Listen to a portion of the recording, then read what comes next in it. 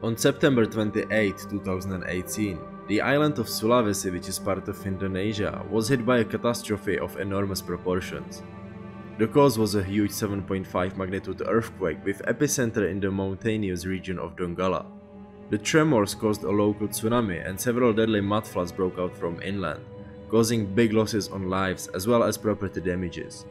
I will try to explain why this earthquake, which was not so dramatically strong, caused such a destruction.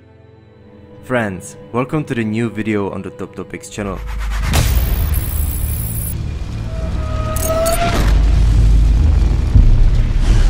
There are several peculiarities of this catastrophe. First of all, it is atypical that although the epicenter of the earthquake was on the mainland, a tsunami was triggered. In addition, the movement of the Earth's plate were horizontal under the sea, so there was no lifting of the water column, which is one of the basic conditions for creating a tsunami. The scientists finally came to a clear conclusion, an underwater landslide. Although the earthquake was quite weak, it spread it over a large area. According to the Indonesian Technology Assessment and Application Agency, the energy released by the earthquake was 200 times stronger than the energy released during the nuclear bombing of Hiroshima in 1945. This surface intensity caused the subsidence of underwater rocks and triggered an extremely strong local tsunami, which struck the nearby mainland in no time. The landslide damaged a tsunami's warning detectors, which definitely didn't help. The scientists believed that after such strong shocks, there was a threat of maximum half meter high wave. However, the reality was a little bit different. At exactly 1807 Central Indonesian time, a tsunami warning was issued in Palu and Donggala. Donggala residents were told to expect a tsunami ranging from 0.5 to 3 meters, while Palu residents were told to expect a tsunami of less than half meter. Calculations indicated that the tsunami would reach Palu about 20 minutes after the earthquake. Then the authorities made a huge mistake and the tsunami warning was withdrawn. Tsunami alarms have not been activated. At that time, the Palu Nomoni festival took place in Talise beach, and most of the festival participants did not realize that a deadly wave was rolling on them. Eyewitnesses even said that some people were still walking on the beach in Palu when it was suddenly hit by a tsunami. In addition, the city's geomorphology turned against the city, as the city lies at the end of a very narrow bay, which led to a further intensification of the effects of the tsunami. The city was hit by a wave up to 6 meters high. The published footage shows that the wave approached at a tremendous speed and literally swept away everything that stood in its way. Since the source of the tsunami was not far from the coast, the wave didn't lose any energy and arrived within a few minutes in full power. This event is further proof that these local tsunamis have the most dangerous and completely unpredictable character.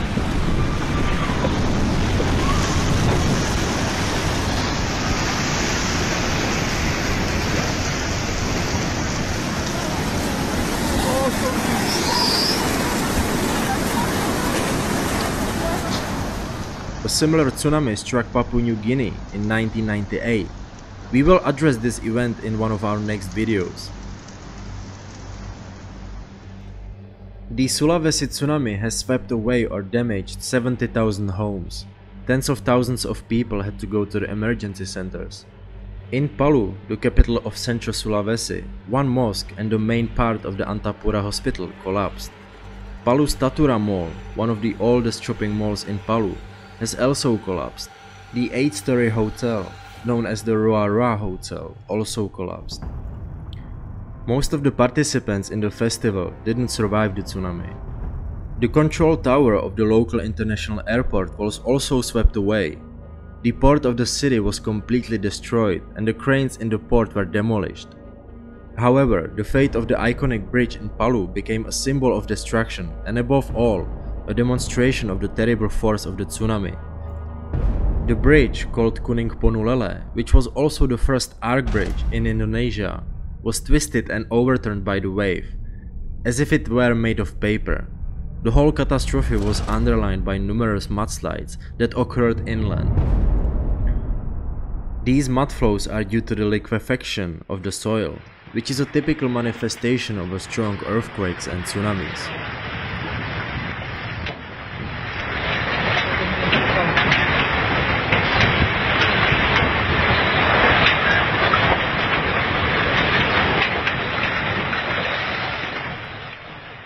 The mudfloods destroyed thousands more houses and claimed thousands of lives.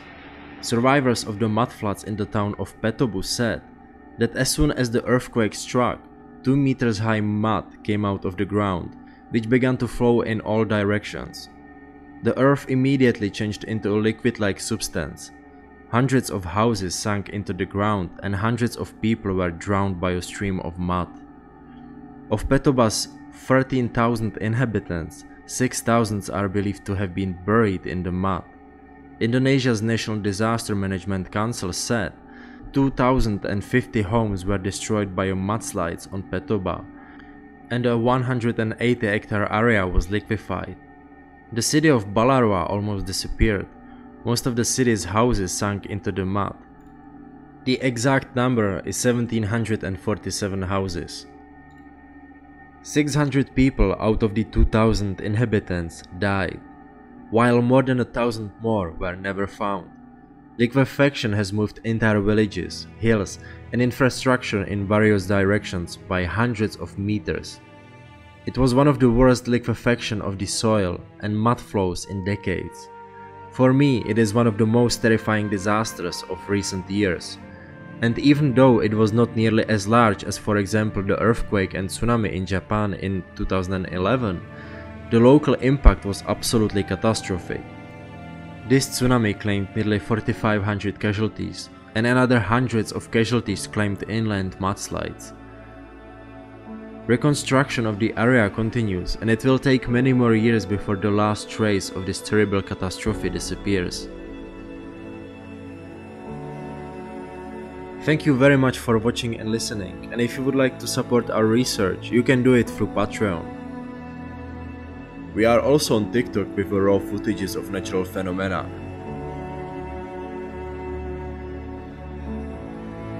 And Instagram where you can share your own pictures and videos regarding Mother Nature with our community.